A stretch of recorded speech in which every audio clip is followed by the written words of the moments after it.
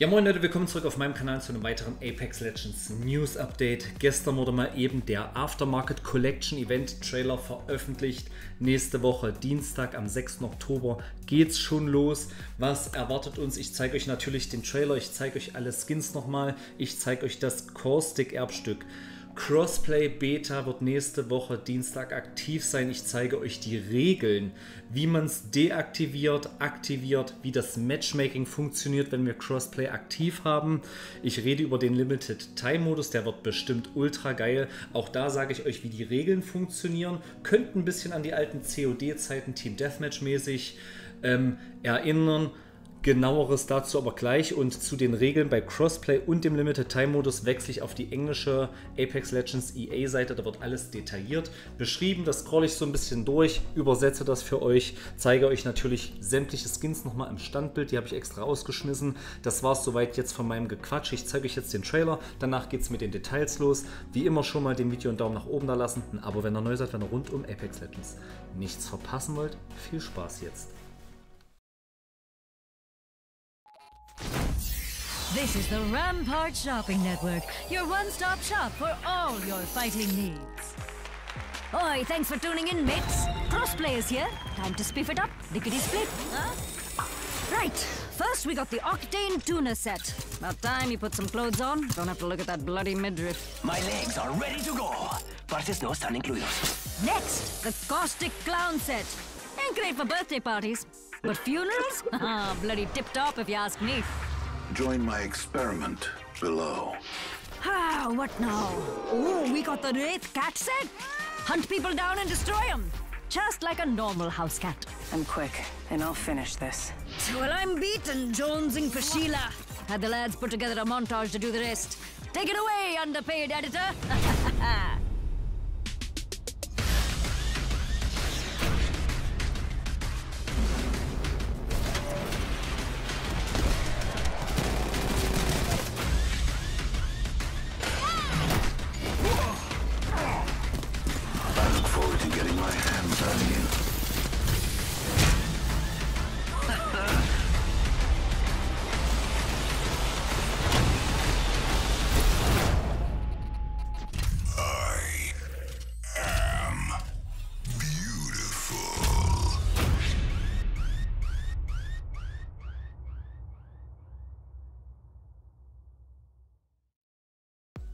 Der Trailer ist doch absolute Sahne, wie ich jedenfalls finde. Gerne in die Kommentare, was ihr davon haltet, aber Respawn macht allgemein eigentlich immer sehr, sehr geile Trailer.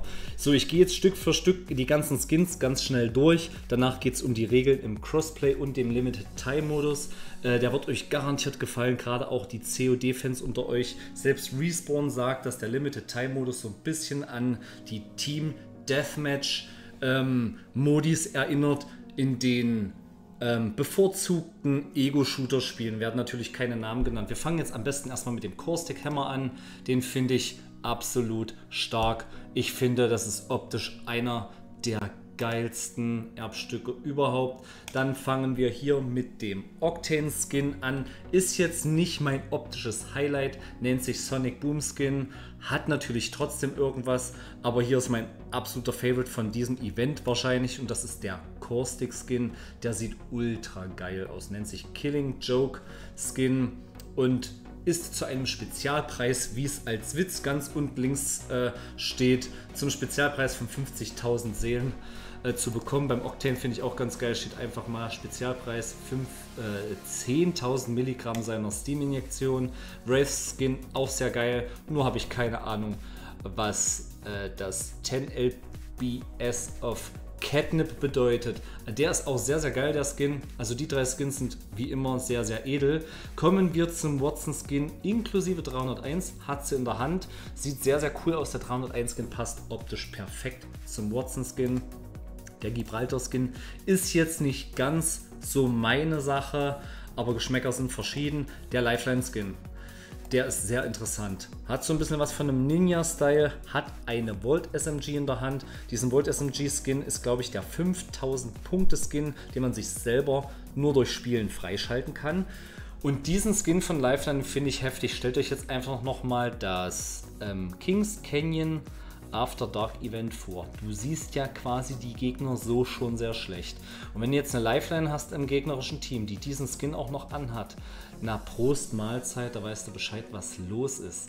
Auch einer der Favorites von mir ist der Revenant Skin. Sieht er nicht ultra, ultra krank aus? Meine Fresse, scheiß die Wand an. RE45 Skin konnte ich nur halbwegs gut aus dem Trailer rauscutten. Könnte gar nicht so blöd aussehen. So, dann habe ich noch einen kurzen Cut, einfach von oben von der Draufsicht vom Flashpoint-Modus.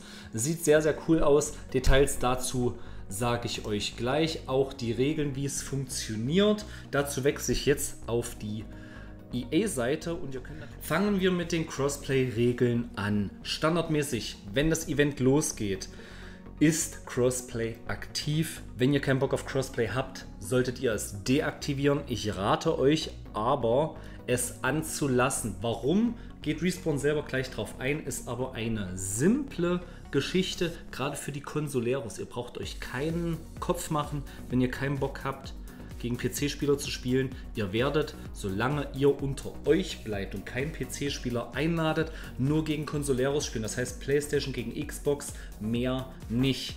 Das ist Punkt 1. Zu den genaueren Regeln kommen wir gleich. Ihr könnt es auf jeden Fall auch deaktivieren. Warum ihr das noch nicht deaktivieren solltet, komme ich gleich zu.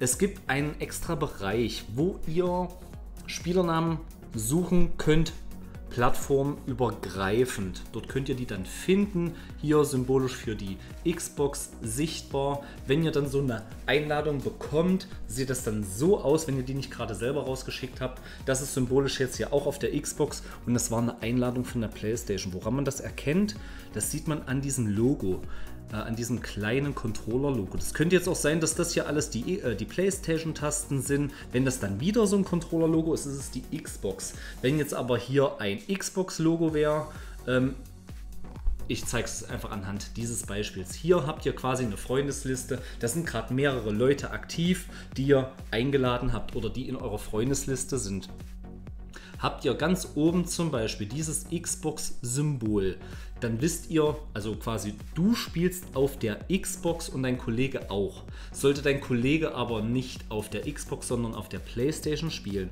habt ihr hier ein Controller-Logo. Das Controller-Logo bedeutet aber nicht PlayStation. Es könnte genauso gut sein, dass hier oben ein PlayStation-Logo ist und hier unten ein Controller-Logo. Das heißt einfach nur, okay, er spielt auf einer Konsole, aber nicht auf derselben wie du. Das heißt hier Xbox bedeutet Xbox, Controller bedeutet einfach die andere Plattform. Quasi auf der Konsole, auf der ihr nicht spielt. So, ich hoffe, ihr habt es verstanden. Scheiß drauf. Ähm, falls ich mich jetzt hier ein bisschen verhaspel, nehmt mir das nicht übel. Und ganz unten ist natürlich ähm, das PC-Logo. Gehen wir einmal weiter runter. Wenn wir einmal eine Freundschaftsanfrage angenommen haben, das ist nicht ganz so interessant. Ähm, der Voice Chat, das ist ganz, ganz interessant. Ihr solltet, egal auf welcher Plattform ihr spielt, wenn ihr Bock auf Crossplay habt, ihr solltet keine private Party, wie zum Beispiel auf der Playstation, aufmachen, weil dann hört ihr eure Mates auf der anderen Plattform nicht. Ihr müsst einfach die Lobby voll machen mit euren Leuten, dann hört ihr die automatisch. Kennt ihr ja auch von der Playstation zum Beispiel. Solange ihr keine Party aufhabt, hört ihr die Randoms zum Beispiel ja auch. Und genauso wird das auch dort funktionieren. So, jetzt kommen wir zum Crossplay Matchmaking. Sehr, sehr interessant. Also nochmal von vorn so ein Stück weit. Crossplay ist standardmäßig aktiv. Ihr spielt nur gegen Consoleros, wenn ihr auf einer Konsole startet.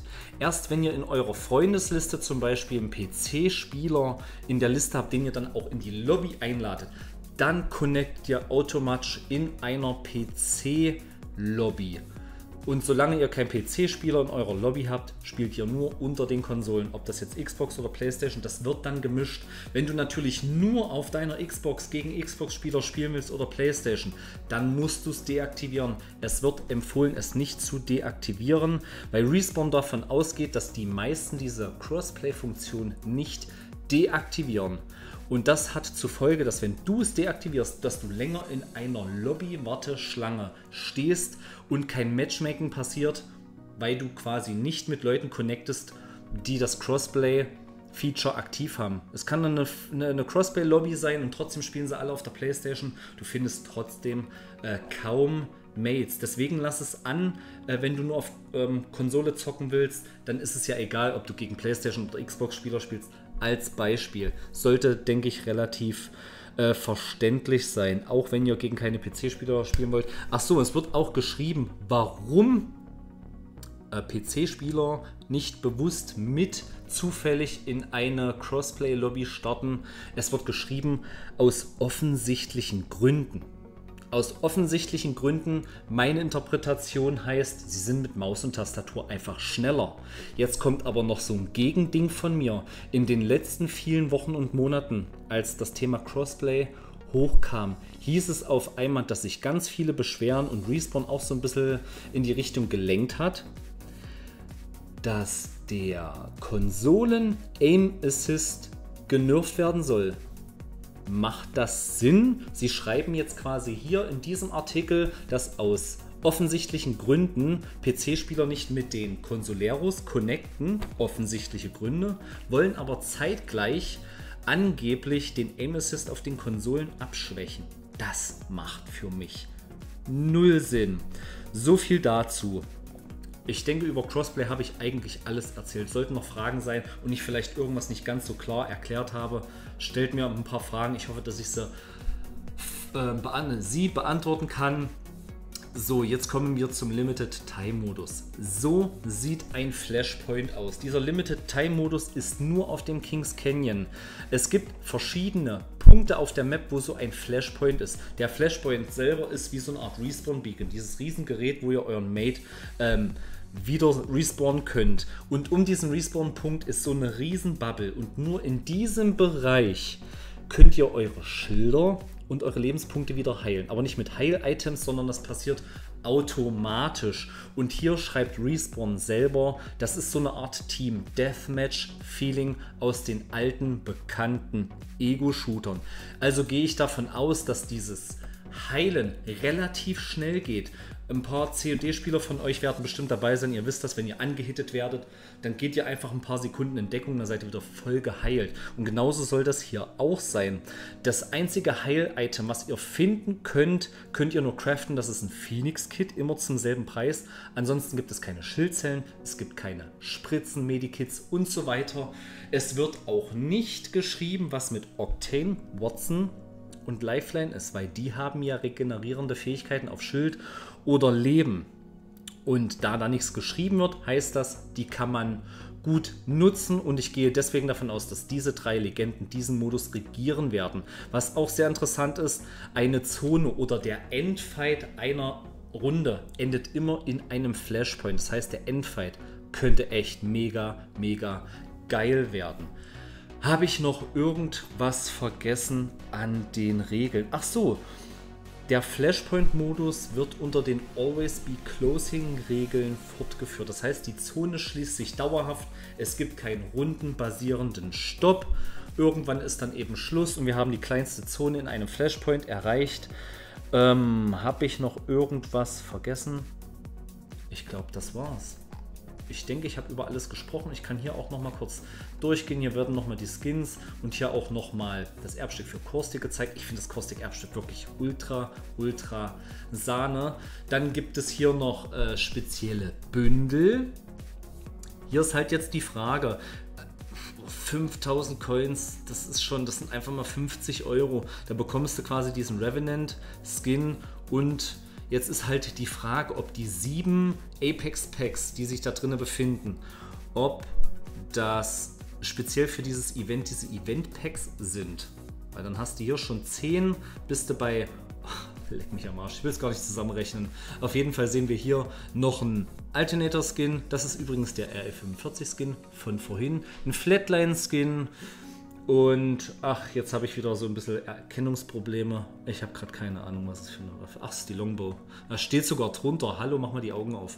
Okay, haben wir noch was? Hier gibt es dann noch spezielle Bündel, die datumsspezifisch sind. Ähm, ob das jetzt auch alles, ja, das scheinen auch Event-Skins zu sein. Man, man sieht hier, hier sind zwei Charms. Einmal von dem Lifeline-Skin, einmal von dem Wraith-Skin, die Katze. Dann haben wir hier die P2020. Sieht jetzt nicht ganz so geil aus. Naja, ihr seht, denke ich, so ein Stück weit selber. Diese Skins, die sind dann auch im Shop erhältlich. Die sind jetzt nicht ganz so spannend. So, und dann haben wir noch ein klitzekleines Man naja, Manko, kann, Manko ist ja Käse. Das kennen wir schon aus anderen Events. Wir können ein bisschen was selber freischalten. Ist natürlich nicht die Welt. Wenn wir jetzt regelmäßig zocken, schalten wir das meiste sowieso automatisch frei, wenn wir innerhalb des Events zocken. Ähm, bei 500 Punkten kriegen wir einen Waffenschaum, das sind zwei Schuhe. Bei 1000 ein Bangalore-Skin. Dann haben wir bei 2000 Punkten Elster und ein Volt-Skin. Das ist der Volt-Skin, den Lifeline in dem Trailer in der Hand hat mit diesem Ninja-Kostüm oder Skin. Und als letztes, oh Gott, ich hab's mal wieder mit meiner Waffenerkennung Leck mich am Arsch, ich erkenne es nicht. Es könnte die Hemlock sein, ich bin mir nicht hundertprozentig sicher. Äh, verurteilt mich bitte nicht dafür, ich habe so ein Talent, bestimmte Waffen einfach überhaupt nicht zu erkennen. Ladies and Gentlemen, das war alles, was ich über Crossplay, über dieses ganze Event und so weiter zu erzählen habe. Ich hoffe, ich habe es nicht unnötig in die Länge gezogen, aber es sind doch eine Menge Details, über die man reden konnte. Hat euch das Video gefallen? Ich würde mich wirklich sehr, sehr darüber freuen, wenn ihr dem Video einen Daumen nach oben da lasst. Abo, wenn ihr neu seid, wenn ihr rund um Apex Legends nichts verpassen wollt. Und nochmal den Shoutout für meinen Twitch-Kanal. Für alle, die vielleicht so ein bisschen meine Livestreams vermissen und es nicht, noch nicht mitbekommen haben. Ich streame in Zukunft nur noch auf Twitch.